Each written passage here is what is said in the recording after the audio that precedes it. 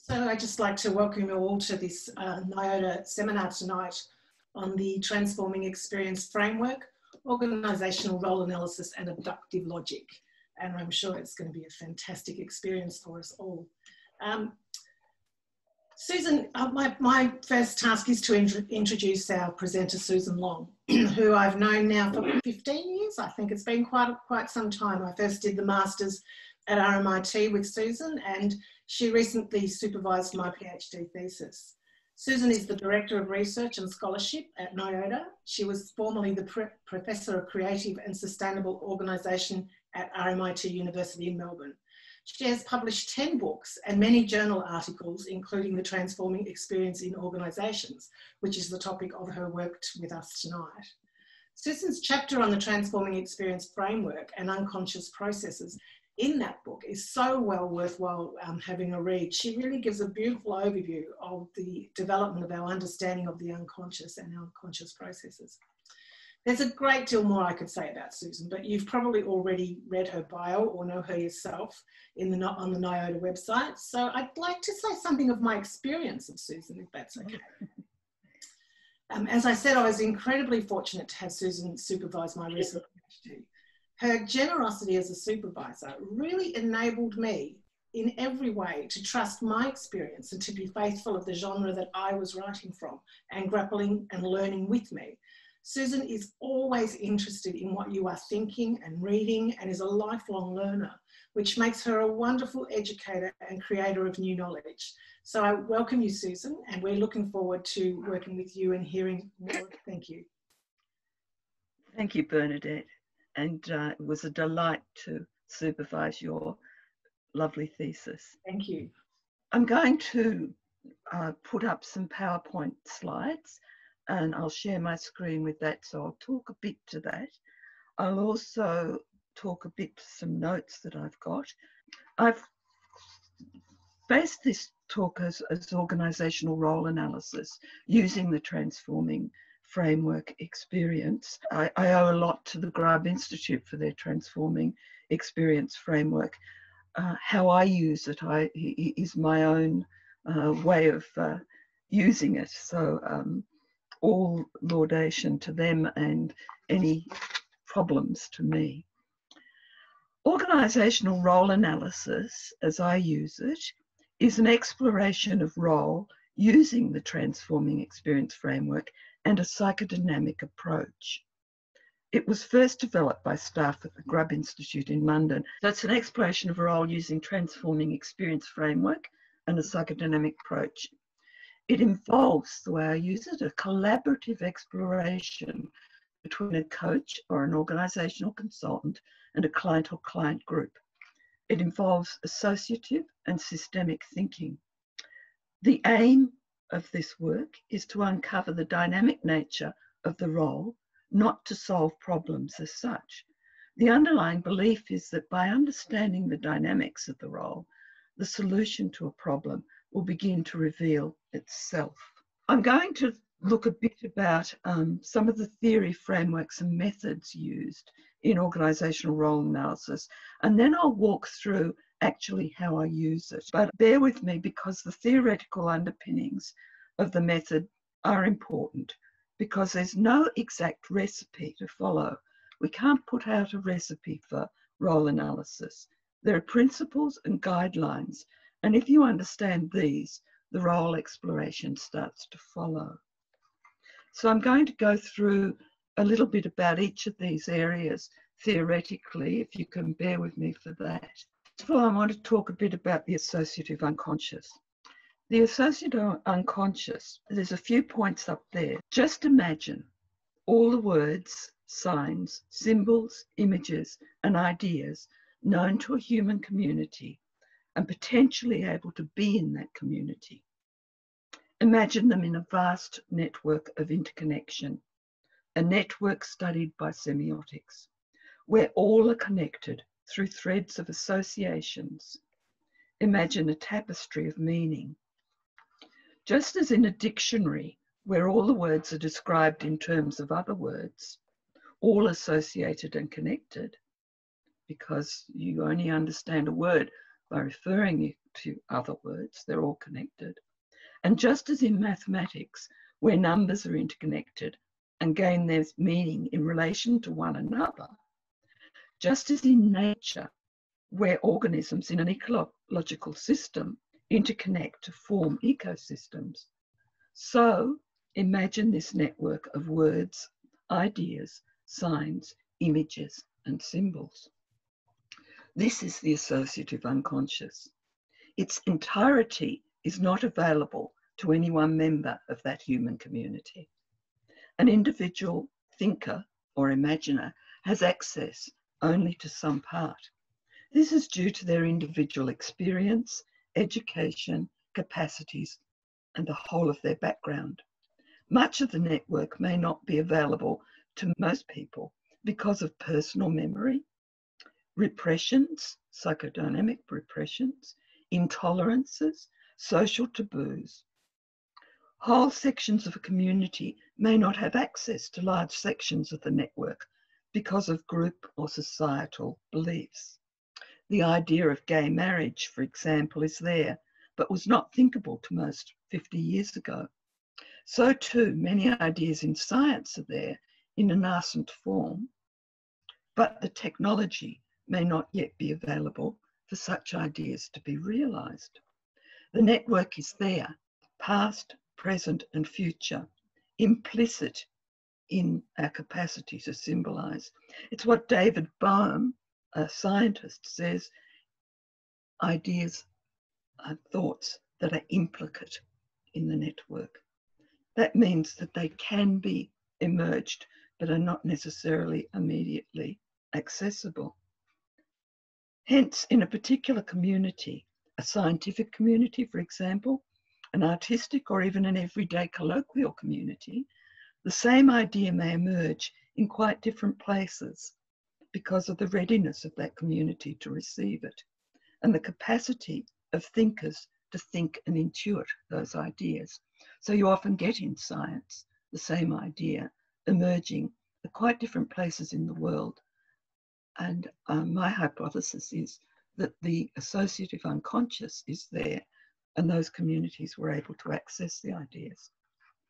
But although this network seems to exist in its own right, a system of thoughts, ideas, symbols, and signs, it's not independent of living, experiencing people.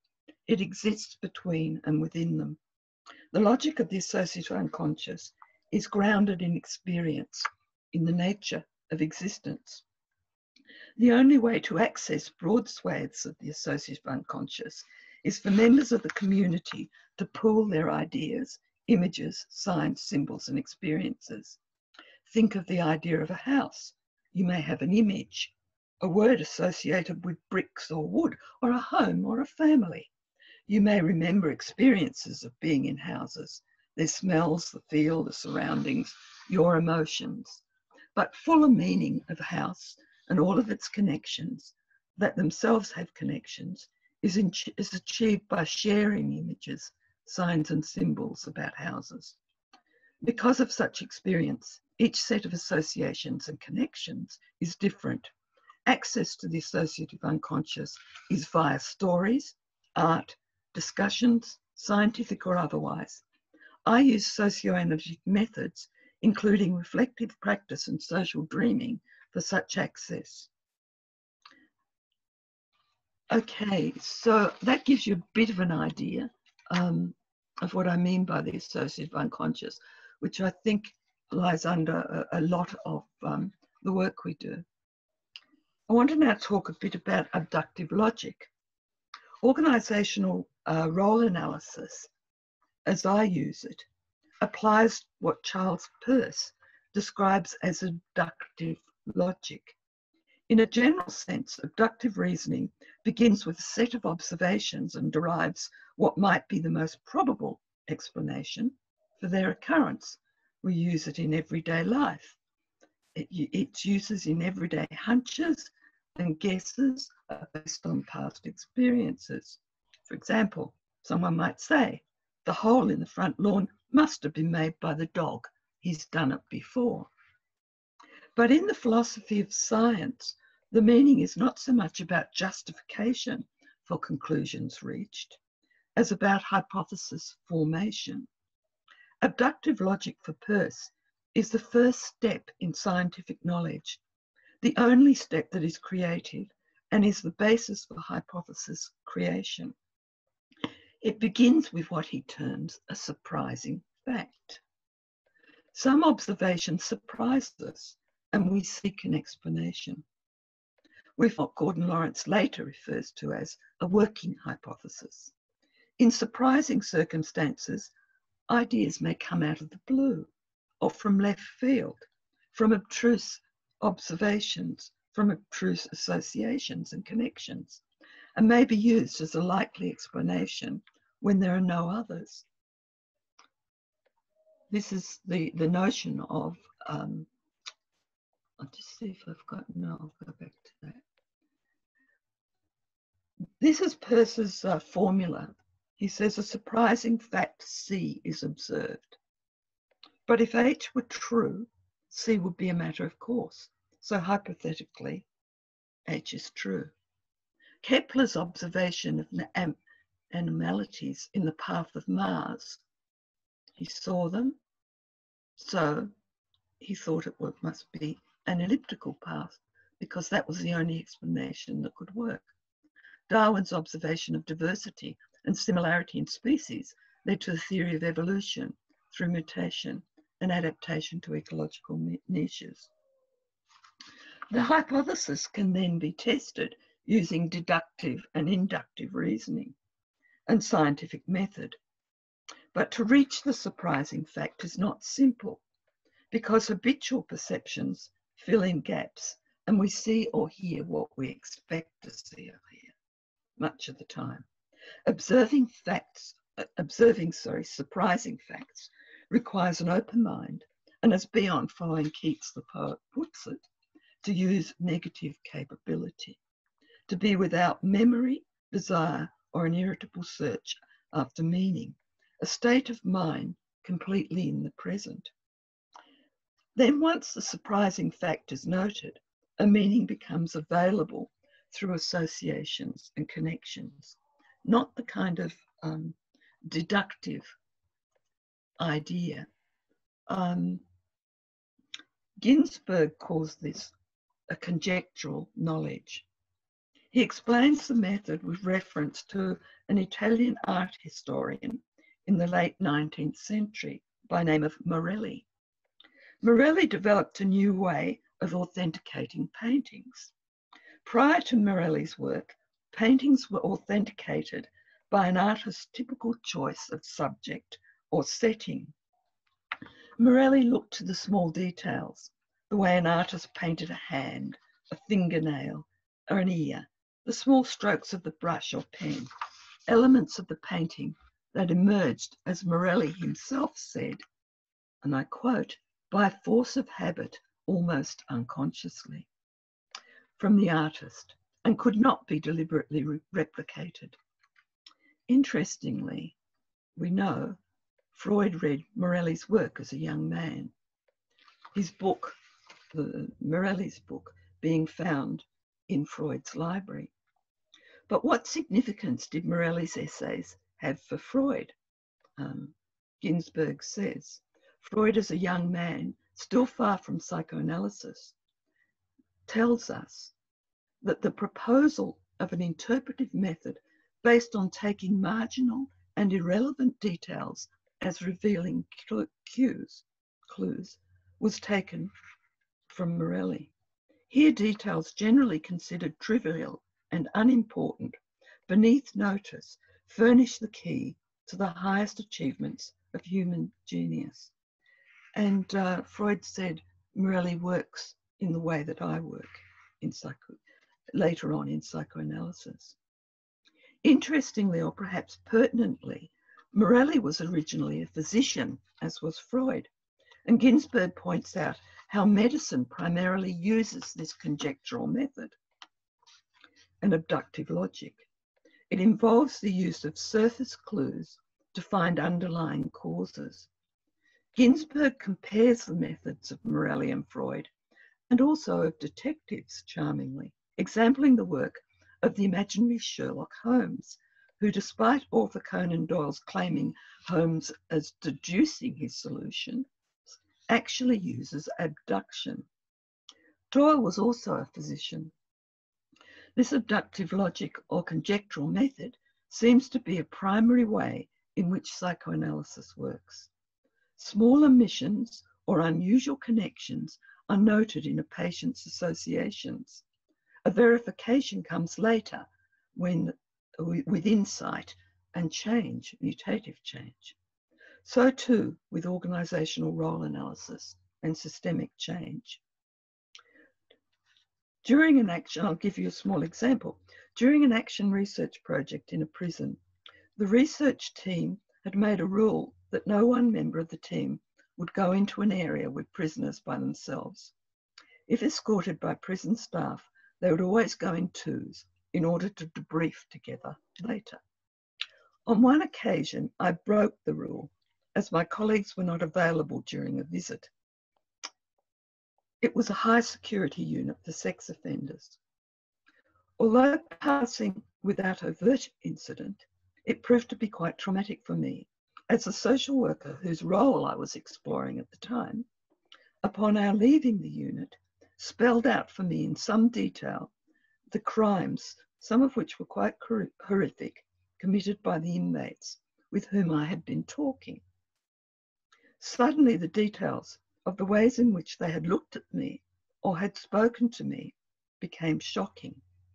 In all of this, the most surprising fact for me was that she convinced me to go into the unit with her when I had already been clear about the rule which I had made for the safety of the team. Was it, I thought, just my own hubris or my struggling after meaning that made me break the rule? Later, upon debriefing, I realised the extent to which I had been subjected to a projective identification from the social worker.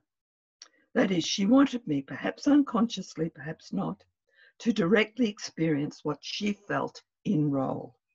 She had earlier said that her role was hard to describe, and I should come with her to observe, to observe as she did her rounds. I had agreed, despite our rule, of not going alone. My experience reflected what she experienced in her work, only she had had time to build the defences that I was woefully lacking. I got the full brunt. I had been seduced into going into the unit, groomed, as it were, into being the person who might know her pain in role. And we continued our role analysis uh, work later after that incident. Okay, now I, I, just want to move to the, the third thing I've talked about um, abductive logic, I've talked about the associative unconscious. I want to talk a bit about working socioanalytically because that's the way I work socioanalytically in role analysis, whether it's with an individual client or with a group of roles in a consulting project or a research project. Just as uh, with psychoanalysis, socioanalysis works conjecturally, and I use Ginzburg's term, in the first instance. It involves noticing the surprising, which means being in a mindset where you can be available for the surprising and not just see what you want to see. Finding patterns uh, in the material that's, that was being worked with, allowing new ways of seeing, and being willing to uh, develop hunches may or may not be proved to be supported later on. These methods generate meaning through understanding the clues, finding patterns in seeming chaos or unconnected occurrences. They work with the unconscious in dreams, drawings, photos, films, music, associations, metaphors, and patterns to come up to the surprising fact. Their aim is to generate working hypotheses, the first step in scientific inquiry. After, uh, after reading Ginzburg too and understanding abductive logic. Um, I, I, remember when I first read Freud, um, which was my first year of university, and uh, how excited I was with his case studies.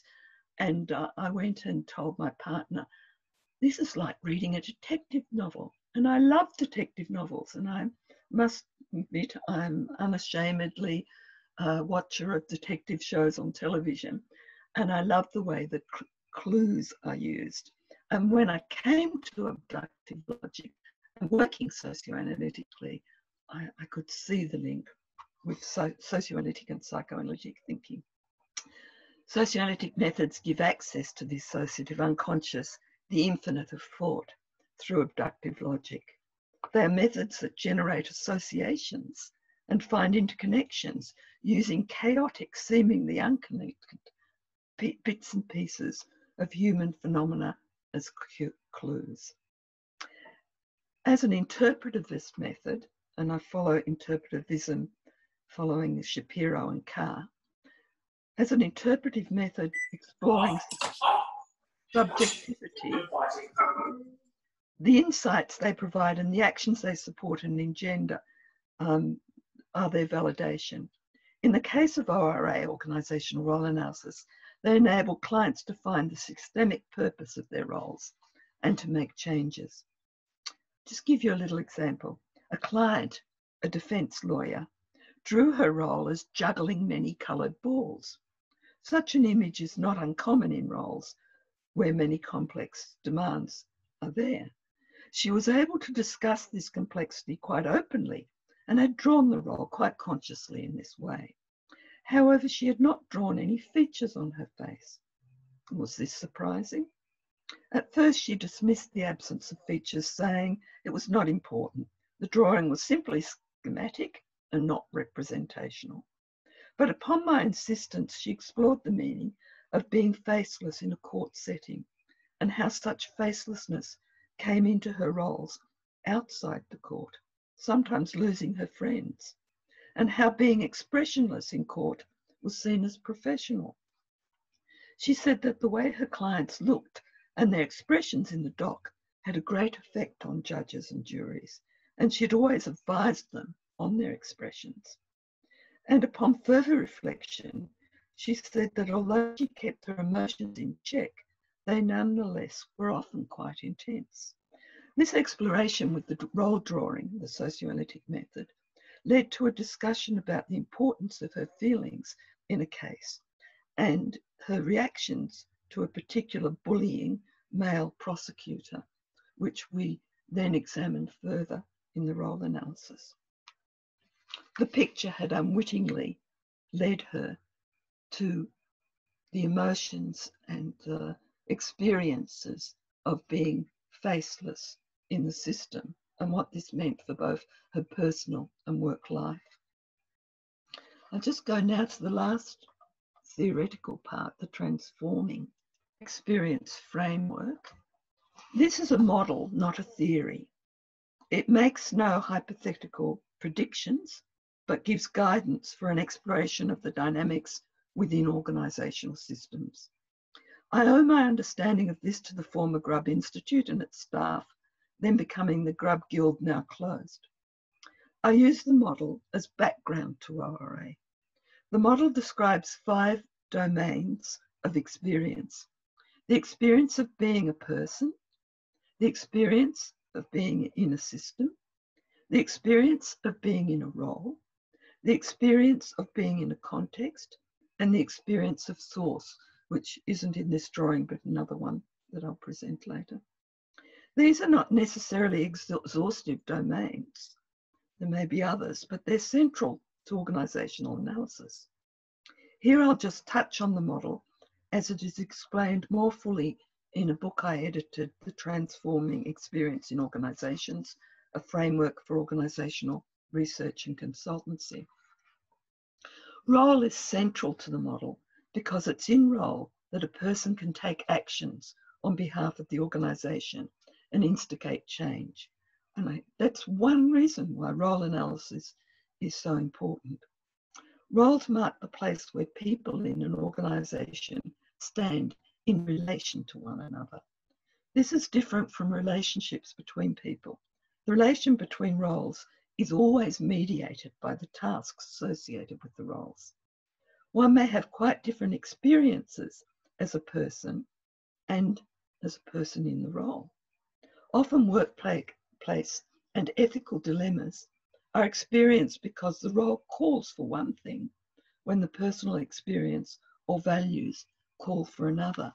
And you may have experiences of this yourself that you can discuss later, where you're torn between your own set of ideas and values and that the role is calling you to do something different.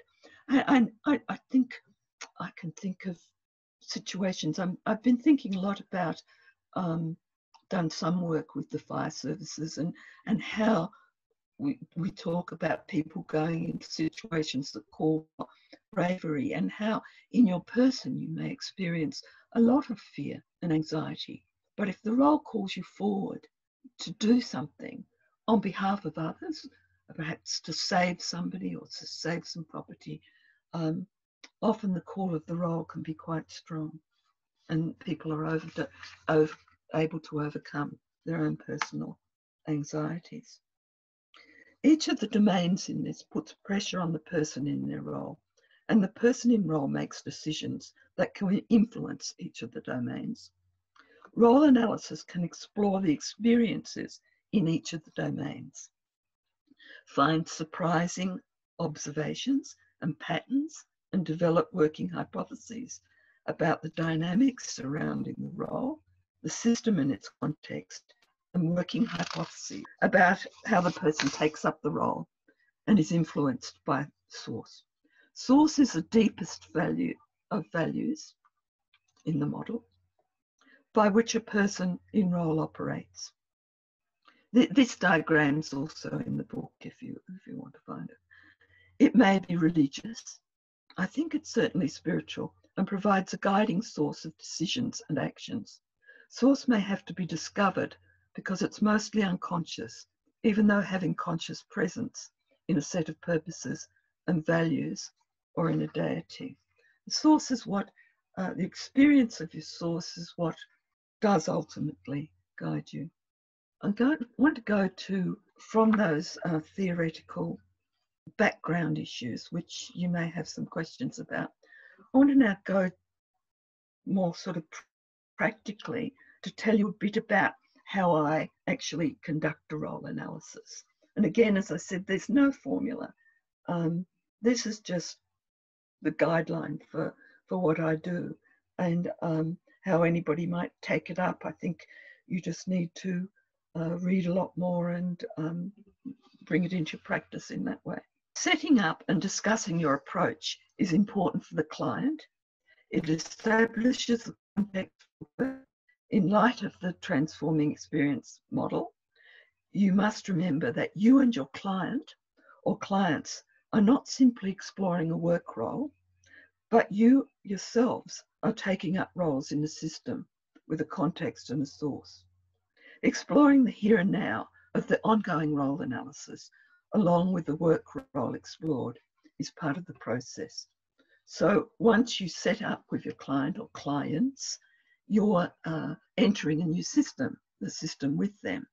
And it's in the context of the role analysis um, that will be there. So you've got a dual um, piece of work. You're working with the role that the person brings for analysis, and you're working with uh, the situation that you're in. So setting up and discussing my, my approach, I use, I talk about confidentiality, although that's implied I think um, needs restating. Talk about the setting that the work is being done in. I talk about it being collaborative, that we're working together. Uh, I find this really important because when you're just working one to one with with somebody, it, it, often just again leads into that relationship stuff rather than into uh, having a third space where a person, which is the role analysis, where a person feels less threatened and um, together we can look at the work. We're looking at roles in the work. I talk a bit about what I mean by elaboration, associations, and amplification of the material, that that's important, that it's not just a something that we do that detracts from the work, but is actually part of the work.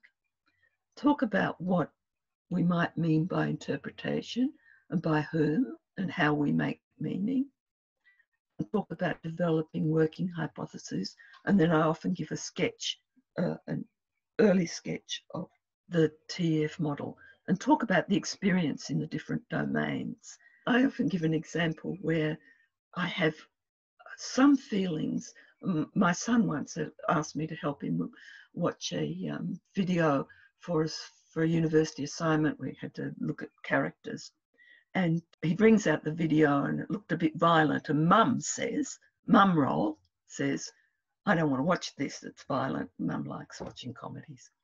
And he said, bless his heart, Mum, I don't want you as mum.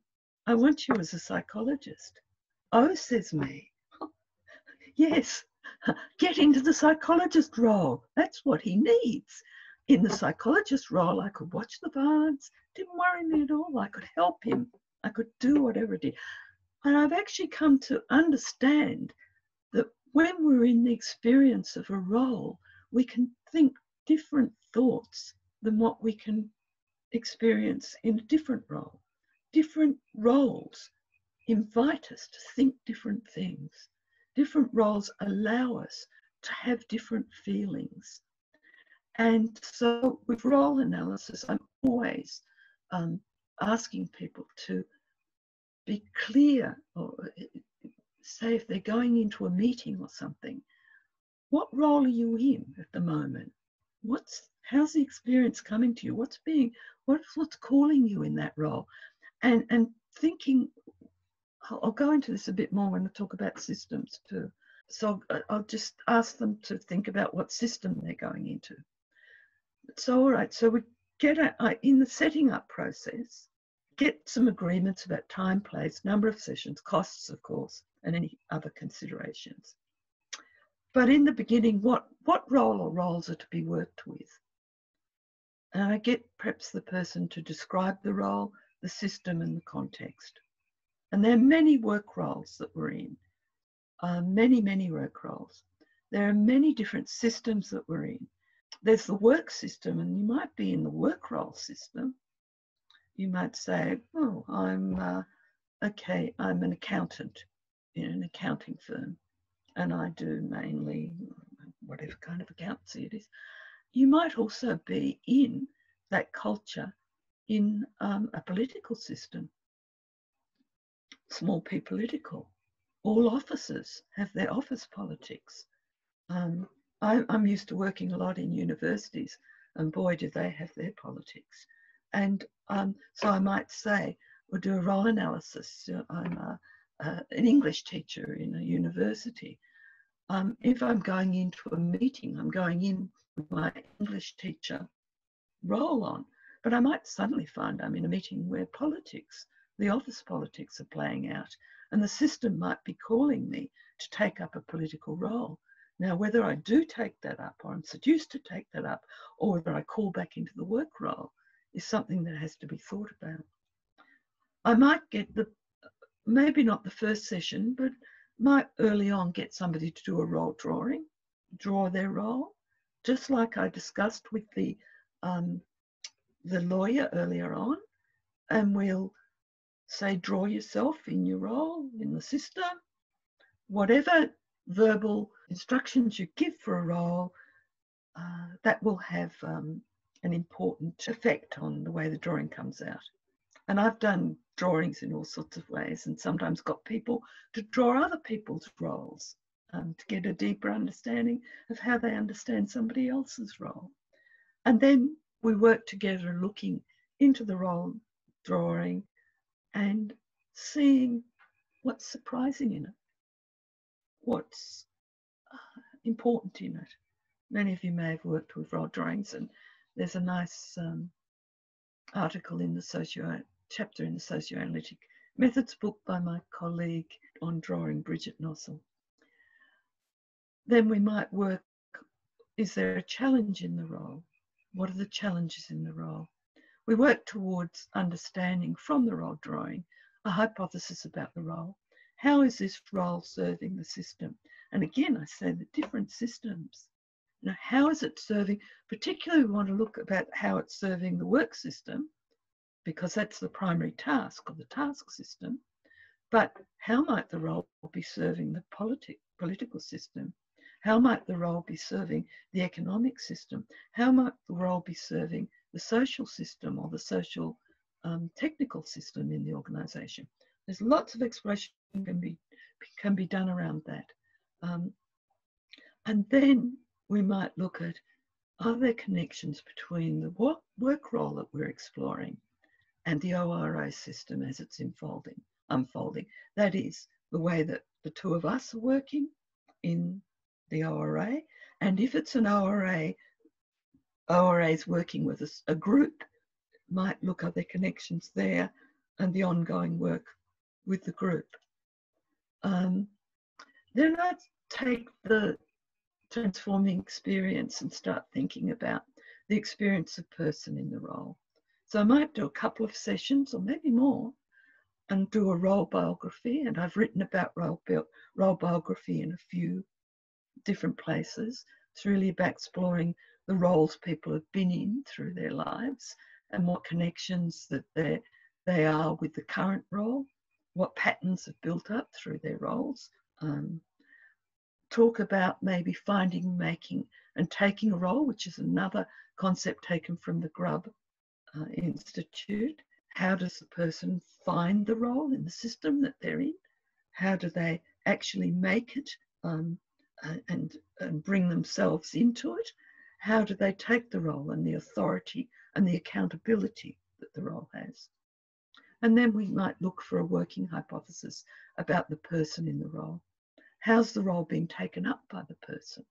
What are the demands of the role? What's the fit between the person and the role? And um, go through through the notion of the experience of the person in role.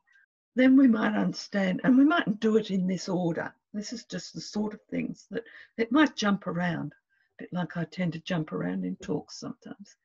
Understanding the experience of being in the system What's the purpose, tasks, authority, and accountabilities in the system that impinge upon the roles or the role, role being looked at? What's the culture of the organisation and its subgroups?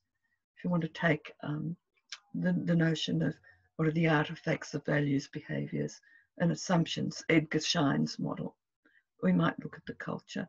We might look more deeply at the culture if we've got to that stage of thinking about basic assumptions and more psychodynamic ideas. So then we'll start looking about what the hypothesis about the system in the light of the purposes of the system. So again, moving, the first one was a hypothesis about the experience of the person in role. This, we start to develop hypotheses about the system and then start thinking linking that to how is our ORA system progressing.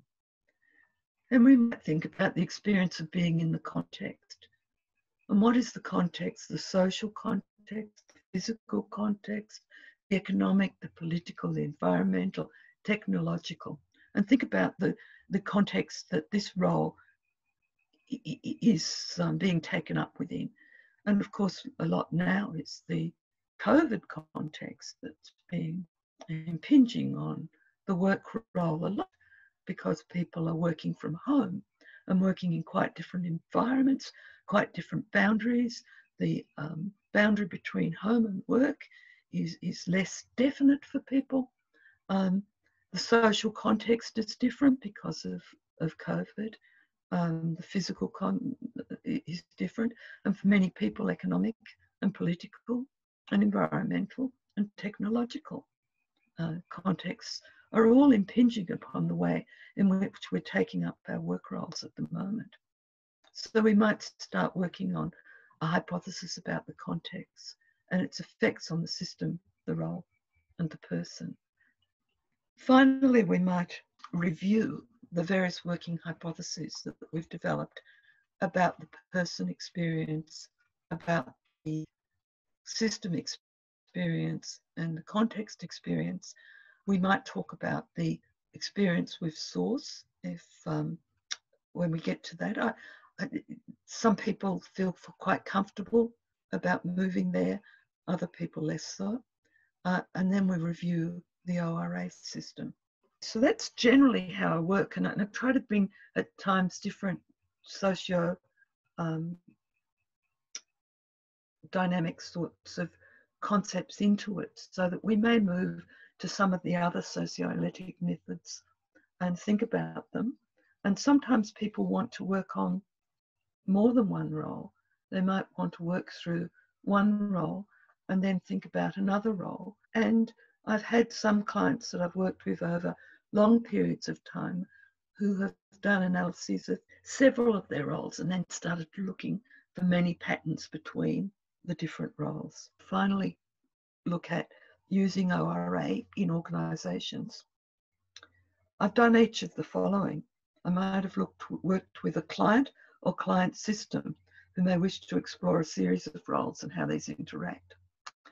I've looked at several roles in the system that can be analysed to get at a deeper sense of the system, the prison one we talked about earlier.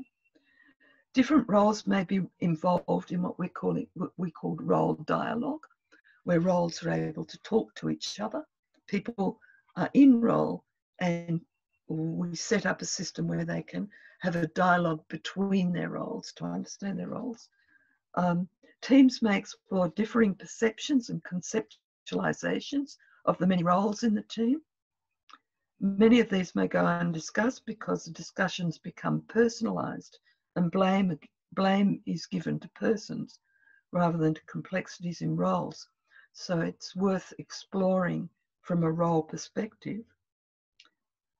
Organisational processes such as induction or performance assess assessments can use short forms of role analysis. In the former, that is in um, induction, and we did a project with this at one stage, um, to understand anticipations that people have about their roles.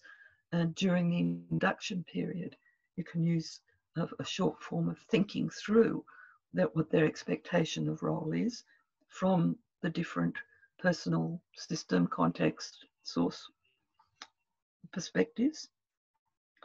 And in the latter, performance assessments, you can separate out the changes needed to roles from the success or not of the person occupying the role. And we've published some of this called Me and My Role of some work that was done in performance assessments where we separated out the first first session was done with really looking at the role, not looking too much at bringing the person into it.